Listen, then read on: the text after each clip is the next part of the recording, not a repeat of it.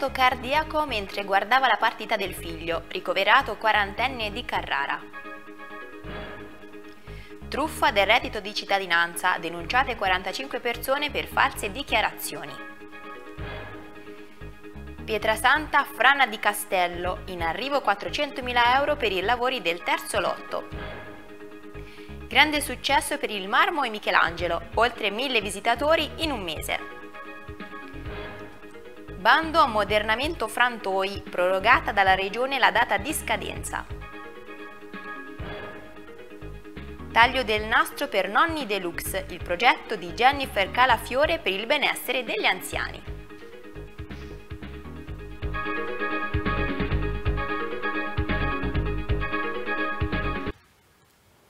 Buonasera, benvenuti al nostro telegiornale. Arresto cardiaco mentre guardava la partita. Ricoverato un uomo di 40 anni per un infarto. I soccorsi lo hanno dovuto defibrillare quattro volte. L'uomo è comunque fuori pericolo di vita. I dettagli. Panico ieri mattina intorno alle 10 al campo da calcio del Fossone a Carrara, quando un uomo di 40 anni, incursore della Marina Militare di La Spezia, ha iniziato improvvisamente a sentirsi male mentre stava assistendo alla partita di calcio del figlio. Le persone intorno al quarantenne originario di Carrara, appena hanno visto che l'uomo non riusciva a stare in piedi e lamentava un malore, hanno subito contattato i soccorsi. L'ambulanza con a bordo l'infermiera Arianna Ambrosi, la volontaria Veronica Veschi e l'autista Vittorio Menconi si è precipitata al campo da calcio del Fossone e una volta arrivati sul posto sono intervenuti in maniera tempestiva per cercare di salvare la vita dell'uomo, dato che tutti i sintomi facevano pensare a un infarto in corso. Da quanto riportato, i soccorritori hanno dovuto applicare il massaggio cardiaco e defibrillare l'uomo a bordo campo e dopo averlo portato via in barella in codice rosso con destinazione Lopa, sono dovuti intervenire col defibrillatore altre tre volte per poi somministrargli altri farmaci per mantenere il ritmo del cuore costante. L'uomo è stato sottoposto ad un delicato intervento che si è svolto nel primo pomeriggio di ieri ed è rimasto in terapia intensiva. Il quarantenne è ora all'OPA di massa e le sue condizioni sono ancora gravi, ma nonostante tutto non si trova più in pericolo di vita. Guardia di Finanza di Pisa. Denunciate 45 persone per aver fornito false dichiarazioni cercando di ottenere reddito di cittadinanza, per un totale di oltre 300.000 euro. Denunciati dalla Guardia di Finanza di Pisa 45 soggetti, i quali durante il controllo della spesa pubblica nazionale sarebbero stati scoperti a percepire regolarmente durante il biennio 2022-2023 il reddito di cittadinanza con un costo complessivo per lo Stato pari a 309.728 euro.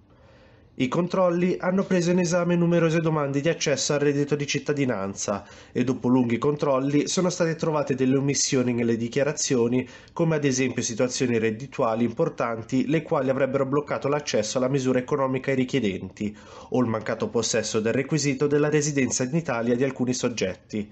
Infatti, tra le persone denunciate è stato riscontrato che ad aver percepito reddito di cittadinanza sono stati vari extracomunitari, giunti da poco tempo in Italia, quando il presupposto è la residenza da almeno 10 anni, senza la minima conoscenza della lingua italiana, elemento fondamentale per la percezione dell'aiuto economico. Uno dei soggetti denunciati era stato destinatario di misura cautelare, motivo di esclusione, mentre un altro aveva acquistato pochi giorni prima della presentazione della domanda un'auto nuova, altro motivo di esclusione. Tutti i soggetti individuati sono stati denunciati all'autorità giudiziaria per aver fornito dichiarazioni false e omesso informazioni per la richiesta del reddito di cittadinanza. Oltre alla denuncia alla Procura della Repubblica di Pisa, i percettori sono stati segnalati all'INPS per la revoca del contributo e per il recupero delle somme già erogate.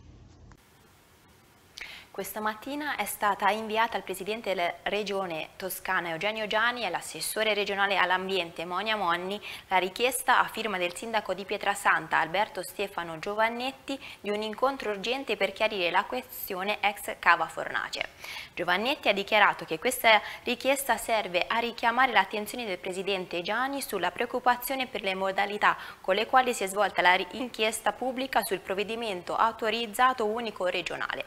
Ha rilasciato rilascio del permesso a conferire i rifiuti oltre 43 metri, l'amministrazione di Pietrasanta si è opposta prevedendo la, la destinazione agricola per la zona interessata incompatibile con l'attività di discarica. Per il proseguimento dello stoccaggio fino a quota di 98 metri si è opposto all'unanimità anche il Consiglio Comunale.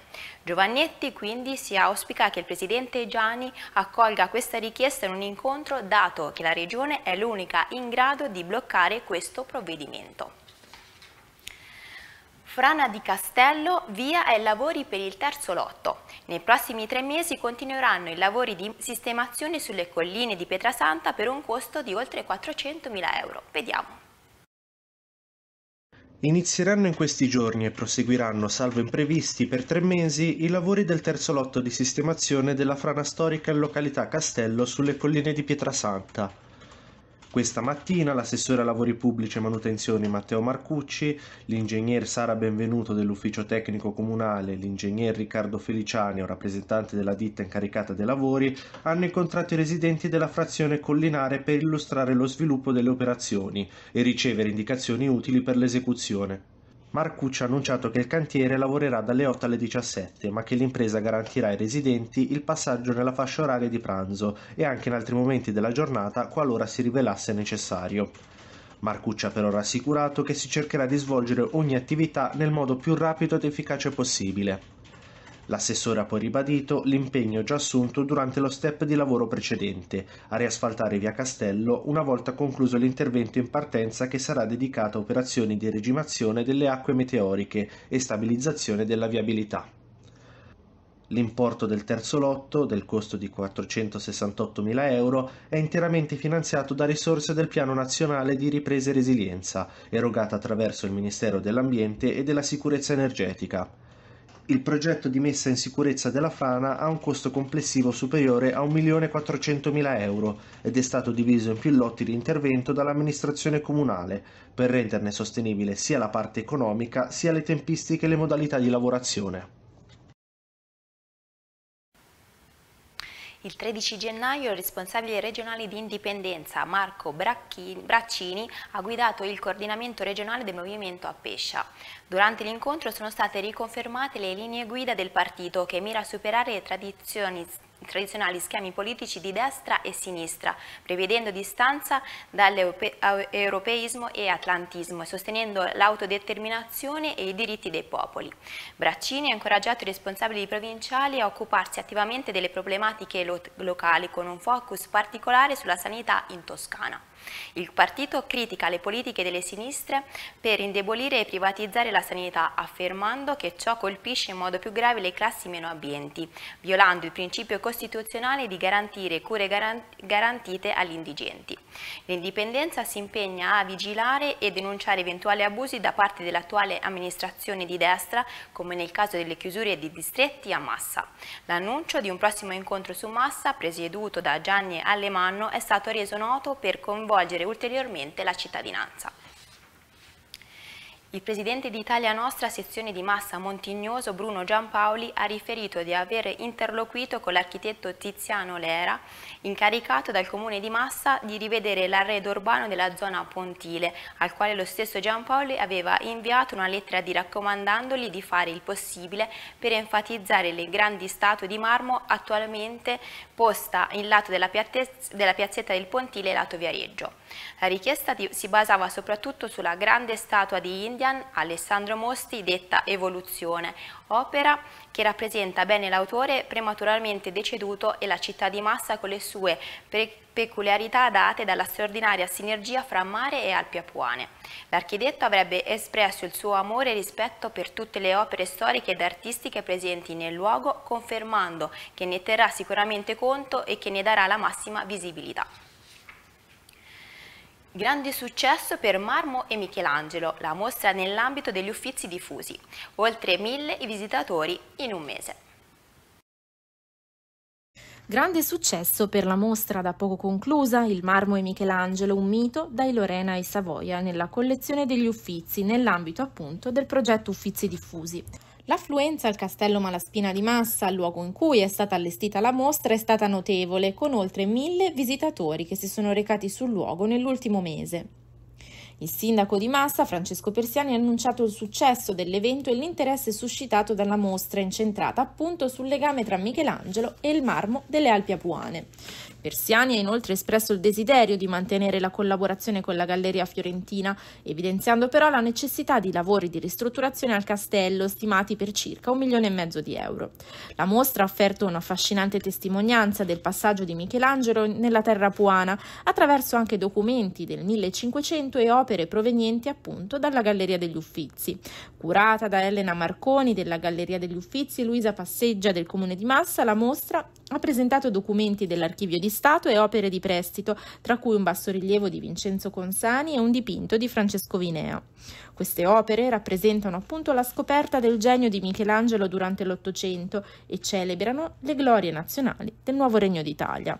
La mostra è stata arricchita da sette conferenze che hanno incluso letture dei testi di Michelangelo, un viaggio sulle tracce dell'artista a massa e un approfondimento sugli strumenti in marmo. Il percorso ha inoltre presentato sei vedute storiche di Massa e di Carrara, offrendo uno sguardo sulla città del XVI e XVII secolo, con particolare attenzione al castello Malaspina e ai contatti di Michelangelo con il marchese Antonio Alberico Malaspina. Questa mattina la sindaca Serena Righi, accompagnata dall'assessora regionale all'istruzione Alessandra Nardini, ha visitato alcune scuole carraresi. La visita è cominciata dalla scuola del marmo di Ipiatacca e proseguita nella sede di Assindustria per un incontro con gli studenti e insegnanti dell'ITIS Neomec 2023 e infine si è conclusa a Fossone con un sopralluogo alla primaria Pascoli e alla scuola dell'infanzia Taibi. La Righi ha ringraziato l'assessore Nardini per la visita. Occasioni come quelle di oggi sono un modo per toccare con mano i tanti punti di forza delle nostre scuole, ma anche per vedere con i propri occhi cosa serve per migliorare ancora.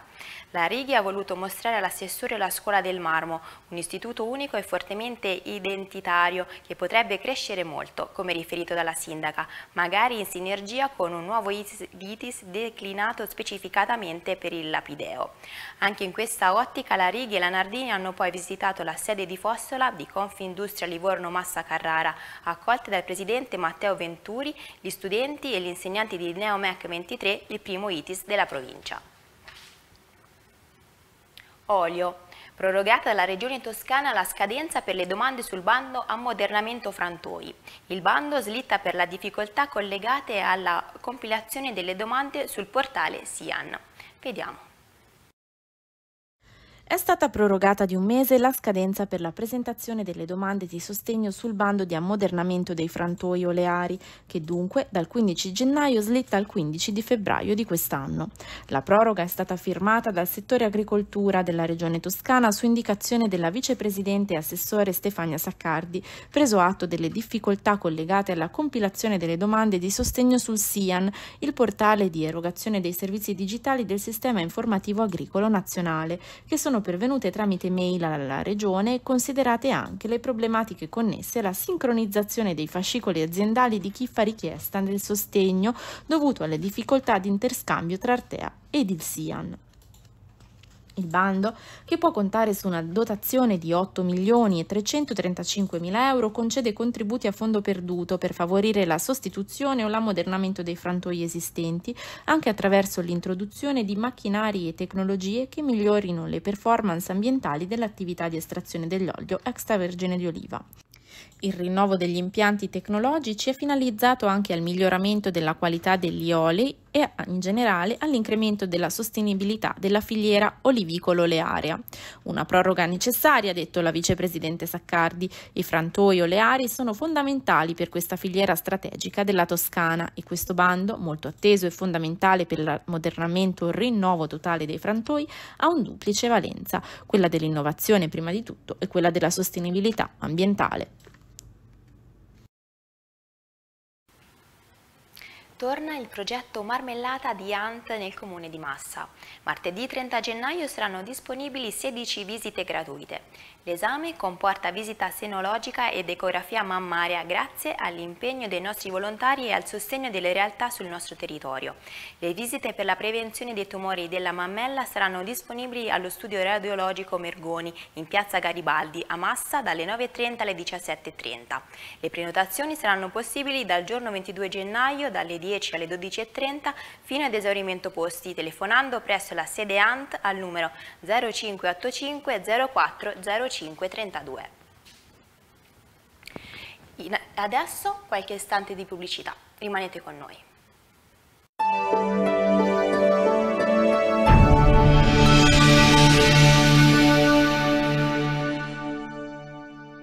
DR 4.0 full optional di serie con 5 anni di garanzia. Incredibile Formula 0, interessi 0, anticipo 0, maxi rata 0 e tu hai in sole 60 rate da 339 euro. Corri in concessionaria, l'offerta è valida solo per poco.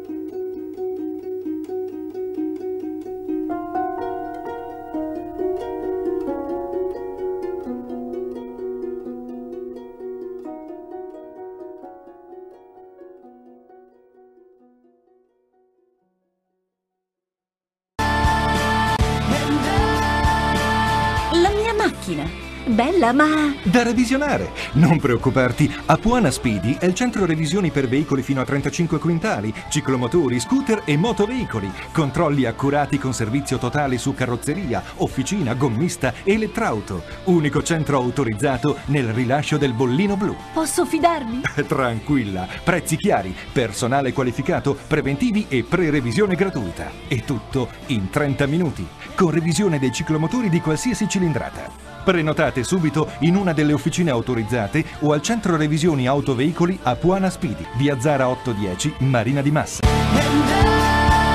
Stregatto, potresti dirmi per favore quale strada devo prendere? Tutto dipende da dove vuoi andare, Alice. Nel Paese delle Meraviglie. Allora è semplice. La strada è quella che ti porta a MB Garden. E percorrendo la lunga via Aurelia, Alice si trovò di fronte ad un giardino, ma non un giardino qualsiasi, proprio da MB Garden.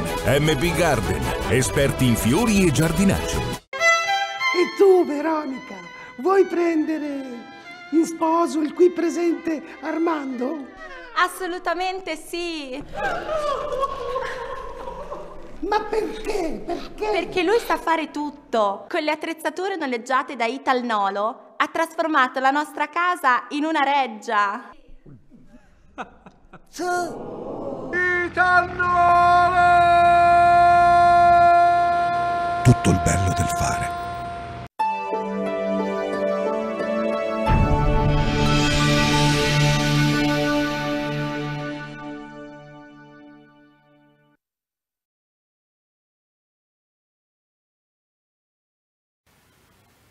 Inaugurata la struttura per anziani Nonni Deluxe, dove gli anziani si sentiranno come a casa propria. Un progetto di Jennifer Calafiore. Taglio del nastro per Nonni Deluxe, il nuovo progetto di Jennifer Calafiore, una casa famiglia per anziani in via Sarzanello 372 nel comune di Sarzana, un progetto in cui Jennifer ha messo anima e corpo. Nonni Deluxe nasce dalla passione, dall'esperienza, ma soprattutto dalla passione del, nei, nei, confronti del mio lavoro. Io ho fatto, sono 15 anni che comunque sono dietro al settore e inizialmente ho fatto la, mm, l'animatrice in un istituto psichiatrico, poi ho fatto la volontaria in pubblica assistenza e poi diciamo che ho avuto l'input giusto per diventare operatore sociosanitario. L'input giusto me l'ha dato la mia nonna, non a caso si chiama comunque Nonni Deluxe perché non è... Uh, ville varie ed eventuali che si vedono in giro, ma doveva trasparire il fatto che comunque per me loro sono nonni. È un concetto bellissimo che sta dietro appunto questo progetto Grazie. e c'è stato tanto lavoro immagino dietro. Sì, dietro c'è stato tanto lavoro, c'è stato um, tanto nervosismo, diciamo così, e, però alla fine l'importante è quello che viene dopo, le soddisfazioni. E cosa avrà di diverso Nonni Deluxe da tante strutture che, vediamo in giro? Allora, uh, Nonni Deluxe di diverso potrebbe avere il concetto di famiglia, potrebbe avere che all'interno della retta non sono compresi i soliti servizi, ma ci sono anche altri servizi come il parrucchiere, come la manicure, il pedicure, l'estetista. Eh, e poi è un, noi abbiamo voluto creare una, una struttura o comunque un'organizzazione che a 360 gradi si prendesse cura dell'ospite. Quindi il medico di struttura che comunque viene una volta a settimana per visitare tutti gli ospiti e, e eventualmente a sistemare quello che c'è da sistemare per quanto potrebbe riguardare, che ne so, le terapie o altro.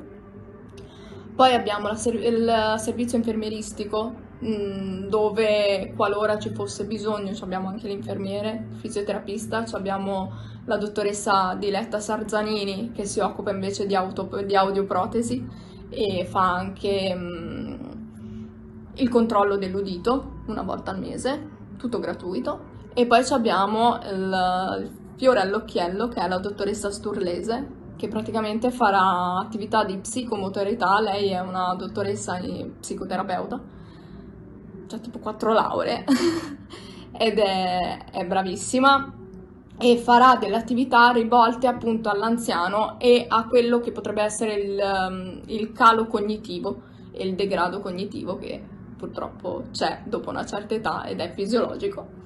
Quindi possiamo dire che questi nonni si sentiranno proprio a casa? Sì, i nonni saranno assolutamente a casa loro. Il comune di Forte dei Marmi insieme a Villa Bertelli presenta la collettiva Forte Marmi nell'arte a Forte Leopoldo I, aperta al pubblico dal 20 gennaio al 25 febbraio. La mostra omargia artisti legati a Forte dei Marmi, includendo esposizioni Francesco Paolo Ferrandello, Renato Frediani e Giancarlo Cannas. Inoltre al termine sarà inaugurata la mostra La materia e sogni propri, dedicata a Beppe Domenici. L'evento offre una varietà di espressioni artistiche con opere fotografiche, sculture in marmo e opere di design ceramico. L'inaugurazione è fissata per il 20 febbraio alle 17 con orari di apertura specifici durante la settimana. Sabato pomeriggio sulla spiaggia di Fiumetto, a Marina di Pietrasanta, sono stati raccolti circa 300 kg di rifiuti dai volontari dell'associazione Plastic Free in un'operazione organizzata con il patrocinio del Comune e la collaborazione di ERSU. Una ventina di persone, con tanti giovani e giovanissimi, hanno risposto a una chiamata del sodalizio ambientalista che con Pietrasanta ha un rapporto di stretta sinergia grazie al protocollo di intesa.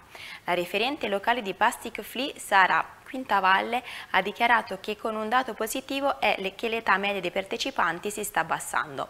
Preoccupante però è il fatto che la qualità dei rifiuti recuperati invece aumenta.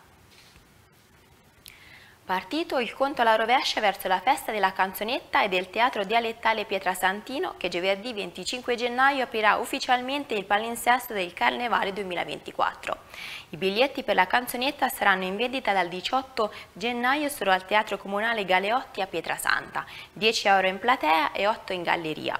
L'ingresso ai corsi mascherati costerà invece 5 euro con esenzioni per under 10 e over 70. Ticket acquistabili nei giorni di Carnevale presso i punti di accesso al circuito. Un assaggio di quello che andrà in scena al Teatro Galeotti e successivamente lungo il circuito del Carnevale si può trovare online sulla pagina Facebook ufficiale del Comune di Pietrasanta, dove ogni contrada racconta i davanti e il dietro le quinte della propria proposta targata 2024. Domani alle 21.30 a Villa Schiff la montignosina Benedetta del Freo in arte Nimue presenterà in anteprima il video della sua prima canzone che si intitola Ghost. Il video è stato realizzato da Cheese Tape Studio e girato a Villa Schiff. Saranno presenti il regista Matteo Palmerini, lo sceneggiatore Pierpaolo Poggi, il produttore Ugo Pongianni. Il 2024 agonistico di Alisei Golf e Country Club Pietrasanta è iniziato con il quinto trofeo Nencini Sport, una Louisiana a quattro giocatori che ha visto ben tre squadre concludere in parità con 50 colpi. Grazie al miglior finale di gara sono risultati vincitori Paolo Vannucci, Stefano Fontana, Riccardo Tognetti e Raimondo Meneghetti, mentre nel netto con 41 colpi si è imposta la squadra formata da Fabrizio Cinelli, Roberto Cinquini, Paolo Richard Krupper e Maria Grazia delle Donne ufficializzato il contratto di affiliazione tra US Massiese 1919 e Virtus Poggioletto. L'accordo permette di dare continuità alle operazioni fatte all'inizio della stagione calcistica per implementare il settore giovanile e dare la possibilità ai giovanissimi calciatori di pensare ad un futuro sportivo nella nostra città far crescere il vivaio che permetta di vedere alcuni dei giovani sportivi anche nella futura prima squadra della Massiese. Dalle 8.30 alle 13 di mercoledì 17 gennaio e comunque fino a termine dei lavori a causa di un intervento manutentivo straordinario della rete idrica verrà sospesa l'erogazione dell'acqua potabile nelle seguenti strade nel comune di Carrara via Antonio Bertoloni, via Bassa, via Lunense, via Muttini, via Capitano Michele Fiorillo e Corso Garibaldi. Gli utenti interessati saranno circa 1748. I lavori previsti potranno essere prorogati nei giorni successivi in caso di eventi atmosferici avversi. Adesso diamo uno sguardo alle previsioni meteo dei prossimi giorni. Il meteo è presentato da Brico Center Massa, il tuo vicino di fare.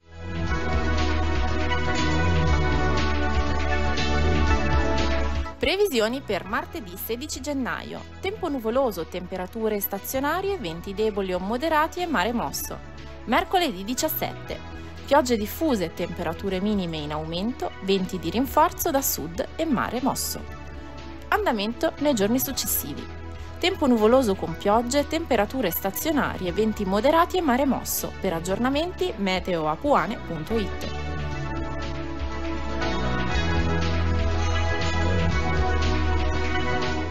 Il meteo è stato presentato da Brico Center Massa, il tuo vicino di fare. Via Marina Vecchia 5. Ti aspettiamo. Il nostro telegiornale termina qua, grazie di essere stati con noi e buona serata.